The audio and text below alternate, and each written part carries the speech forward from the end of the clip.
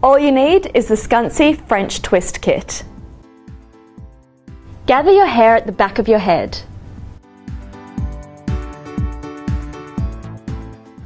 Open the clasp on the updo clip and attach it vertically to your hair at the scalp.